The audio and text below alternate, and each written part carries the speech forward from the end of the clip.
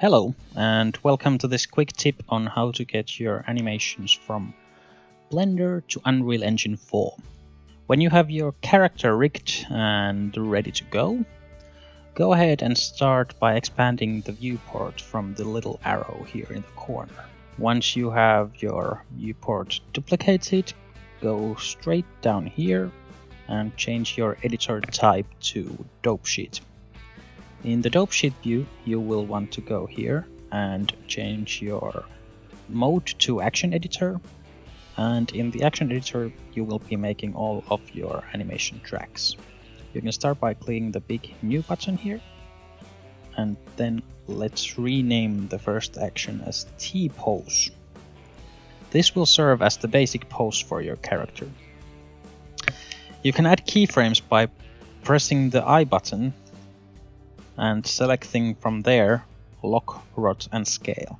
This will add keyframes to all of the bones and then you can start making the rest of the animation you need by pressing the plus button here. Make sure to click on the F button here on all of the important animations so you won't accidentally delete them. And now you are ready to export the character with the rig and the animations. Select the character and the rig. And then go File and Export FBX. Make sure to click on the selected objects so you only get the character and the rig. And then on the Armature tab, deselect Add Leaf Bones. And then just export.